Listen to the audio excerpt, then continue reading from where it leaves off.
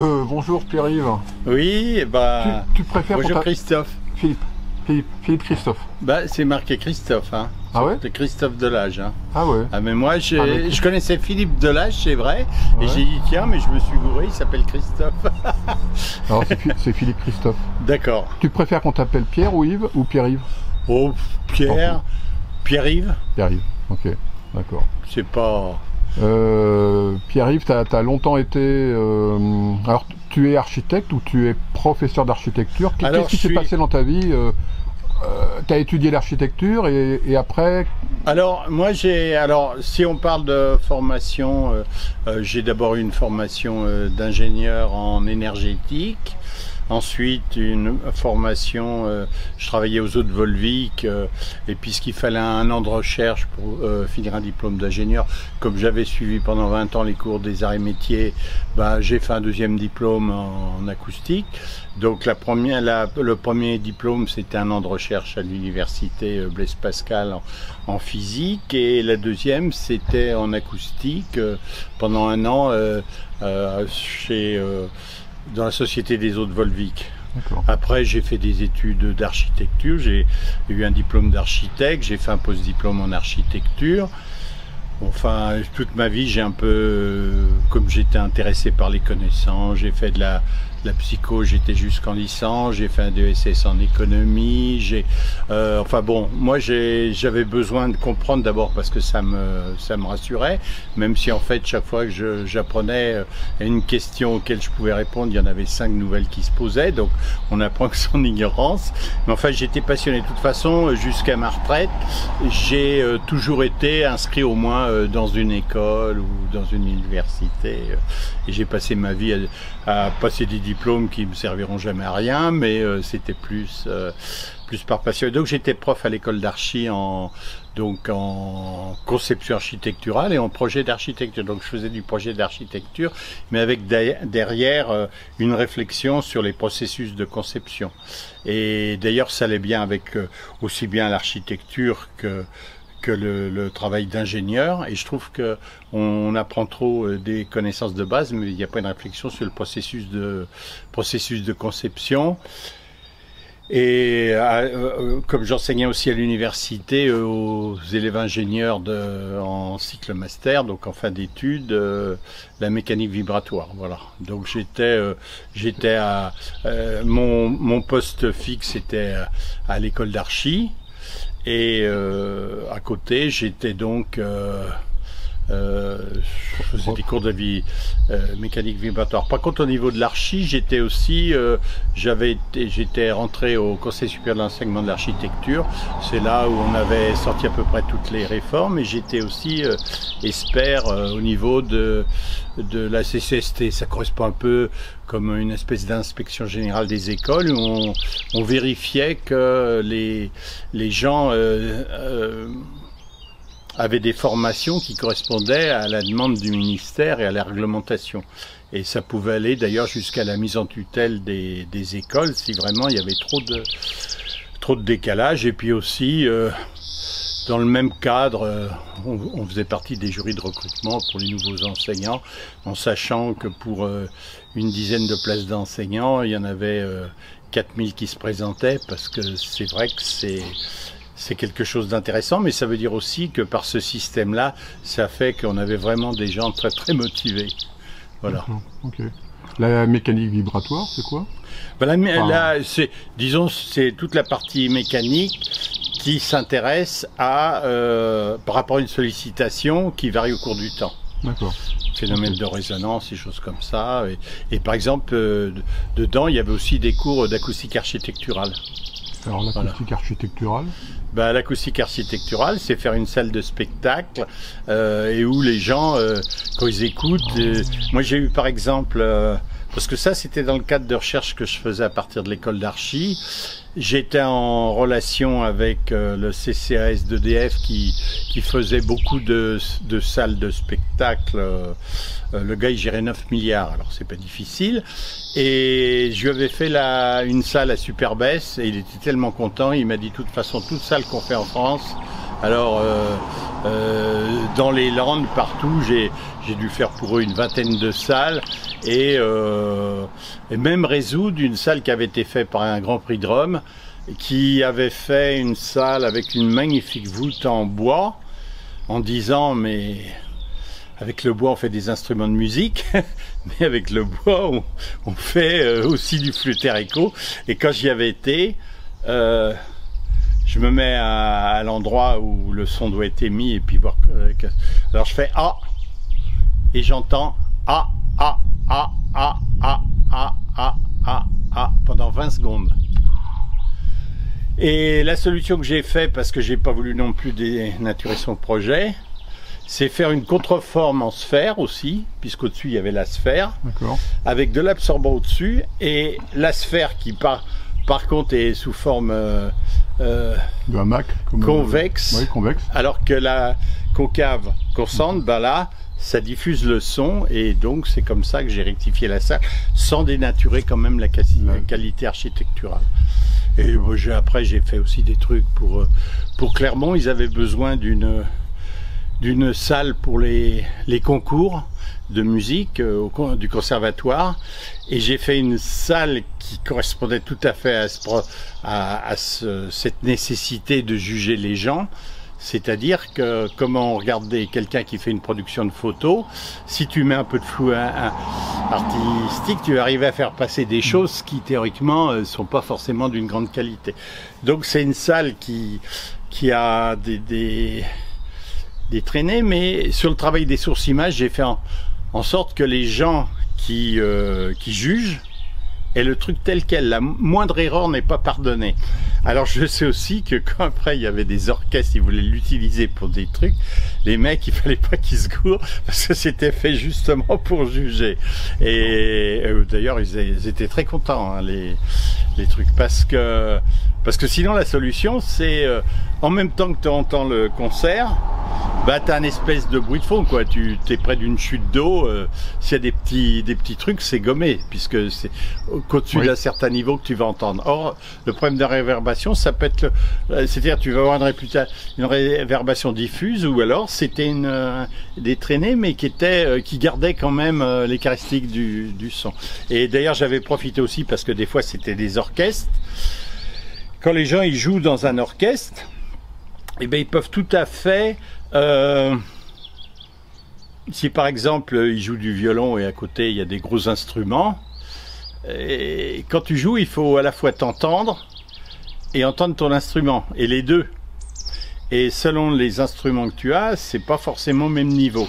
Et moi d'ailleurs, j'avais fait des expériences avec des musiciens, c'est-à-dire il y avait la musique qui devait suivre, que je leur injectais dans l'oreille et je faisais varier les niveaux. Et il y avait des décrochages. Ou alors c'était trop bas, son bruit couvrait tout. Et puis pour trouver les proportions. Et j'ai, inventé ce qu'on appelle des catassones, c'est-à-dire que les gens, sur une zone, ils reçoivent une partie, ça vient renforcer une partie de leur son. C'est-à-dire que bah, même si l'orchestre euh, fait plus de bruit, bah, j'ai relevé leur son propre et ce qui, était en fait la nécessité dans, ça veut dire que quand les les alors ça c'était la, la, contrepartie du fait que par contre il fallait qu'ils jouent très précis mais ils étaient ils avaient un rapport entre leur propre instrument et l'orchestre qui était à un niveau qui leur permettait plus facilement de euh, s'ils entendent pas leur instrument ou s'ils entendent pas l'orchestre, c'est gênant, quoi. Ils peuvent pas chacun vivre indépendamment. alors, on dit souvent que dans les cathédrales ou, dans la sphère, il y, a un son particulier. Euh, alors, t'as étudié ça? Ah bah ça, les. c'est ce bah que tu viens de me dire un peu, la, la, la sphère qui était en bois. Oui, alors, oui, non, mais euh, ce qu'il va y avoir, c'est que si tu as une cathédrale, par exemple, qui est rococo, elle va, elle va faire de la réverbération. C'est-à-dire ça, tu vas faire A, ça va faire A, ça va pas faire A, A, A, A. Hmm. Par contre, euh, pourquoi? Parce que les rococo, il y a des statues, il y a des trucs, ça part dans toutes les directions. Euh, en général, il y a tellement d'obstacles, de tout. C'est quand tu as beaucoup de réflexion, bah, tu plus ces soucis-là. Mais quand, par exemple, tu as une salle qui est clac, comme ça, euh, si les trucs sont assez distants, ça va faire A, A, ah, ah, ça va faire comme une balle de ping-pong qui réfléchit. Alors si ça absorbe pas du tout, bah, ça va durer longtemps. Et si ça, bah, ça va faire ah, ah, ah. D'accord. Voilà. Euh, alors, ta rencontre avec Anti Parce Eh que c'est- ah, Ou avec les maisons bulles Tu as peut-être rencontré d'autres personnes avant, je sais pas. Ah non, non, non, c'est. Moi, j'ai. J'ai toujours. euh, depuis tout petit. Quand je regardais le plafond et que je voyais l'angle, je dis, mais pourquoi ils arrondissent pas? C'est agressif. Tout ce qui est angle est agressif. Et. Donc. euh, moi, j'imaginais des trucs cavernes, mais de toute façon, j'imaginais pas euh, euh, des boîtes à chaussures, de l'architecture orthonormée. Et donc, et quand avec l'école d'archi, on avait un groupe de, de collègues, on travaillait beaucoup sur ces, ces dimensions sensibles de l'architecture. Euh, quand il y a eu un stage qui était organisé, on descendait avec en, euh, chez Anti. Euh, alors, on était descendu. Oui, mais alors à ce, moment-là, tu le connaissais déjà. Tu, tu te rappelles comment tu l'as connu Tu te rappelles Eh ben par les collègues. Par les Ah, collègues parce que les collègues le, le connaissaient. et c'était la première fois qu'ils organisaient un truc et j'ai voulu descendre parce qu'ils savaient que que moi j'avais mais j'avais pas d'a priori. Moi ça pouvait être euh, des trucs plus euh, plus sculpture plus euh, euh, et donc je suis descendu, je suis descendu avec eux et ils s'étaient descendus donc avec les étudiants pour voir. Ben là, c'était le début du, du chantier, c'est-à-dire que euh, la Villa Godet, elle n'était pas commencée. Hein. Ouais. Il y avait que quelques ferrailles.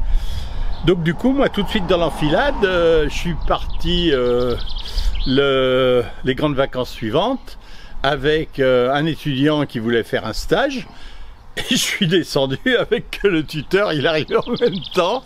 Et d'ailleurs, euh, sur, euh, sur euh, des, des trucs de Pierre Roche, la grande bulle qui sera la bulle de la, de la serre, je suis dessus et tout maigre.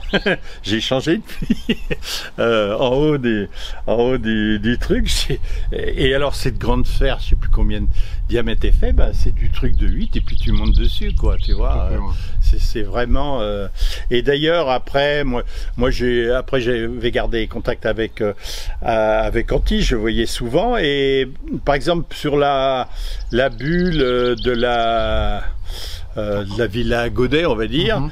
eh bien, euh, comme il devait y avoir des plantes.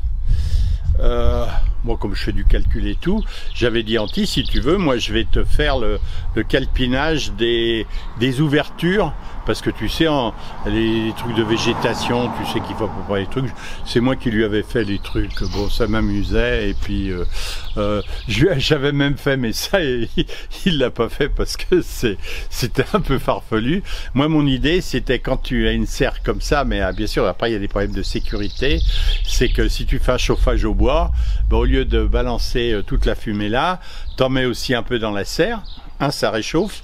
Et deuxièmement, euh, tu sais que la croissance des plantes varie comme.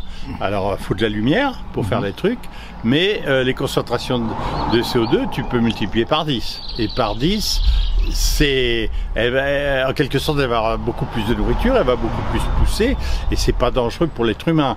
Après, euh, tu multiplies par 100, là, il, il faut, euh, il faut que quand, avant que les gens arrivent, euh, faire un petit coup de ventilation. Donc moi, j'ai, euh, je avais fait un truc comme ça, en indiquant les concentrations optimum, quoi. Mais bon, là, c'est délicat parce que ça veut dire que dans une pièce où tu mets des, de, de l'anhydride carbonique, euh, c'est peut être potentiellement dangereux si les gens ils y pensent pas, ou il y a des gamins qui y vont tout. Donc c'était juste comme ça parce que moi c'est une idée que j'avais parce que sans arrêt on dit oui, mais euh, le CO2, le CO2.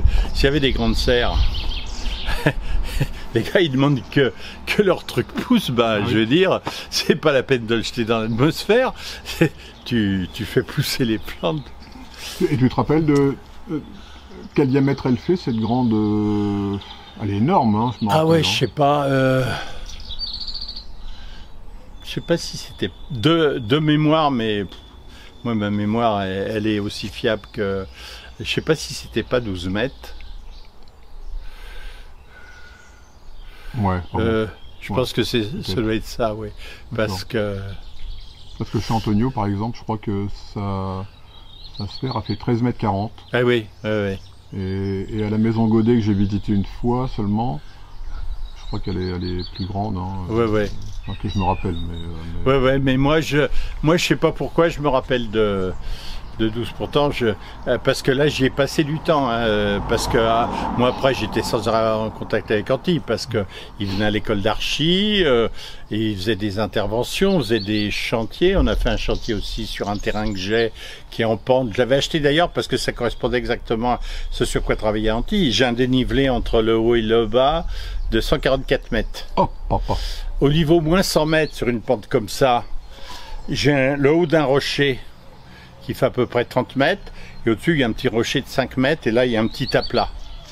Pendant une semaine, on a fait un stage. J'allais avec Antti, il descendait les 100 mètres, il avait 81 ans, et puis quand il est arrivé, il m'a dit Ah, tu m'as dit que c'était pentu, mais avec toi j'aurais dû m'attendre avec ça. ça. Ben, au début, il fallait qu'il s'aide d'une corde, tout. Et puis il descendait, on avait fait une cha- un chantier, on avait amené des gabarits et tout, et on était avec des. euh, on, a, on a fait des bulles, mais c'est un, terrain boisé classé, avec des branches de noisetier. D'accord. Et on a fait une bulle de, de 5 mètres. Donc on a, on a fait le chantier du lundi au jeudi. Et le vendredi, on est descendu à Orléans puisqu'il y avait une expo de, de donc d'Anti, de, de et de Chanéac. Mais Chanéac n'était pas là puisqu'il était décédé de mémoire. Mhm. Fait, ouais. Voilà. Et Anti, à la fin, bah, il, a, il y avait Pierre Roche qui était venu, donc son, un peu son biographe qui fait les photos, les machins et tout. Et il, Anti, il a dit euh, Pierre, tu peux me ramener Il était crevé. Et il m'avait dit Tiens, je te donne les clés de ma voiture, tu me la ramènes. et donc, euh, je lui ai ramené la voiture. Et puis après, bon, je- j'en ai profité pour récupérer une de ces voitures qui donnait à, qui donnait à sa, à sa, la maman de Numa, quoi, Mm. euh, qui, elle, était partie à Troyes.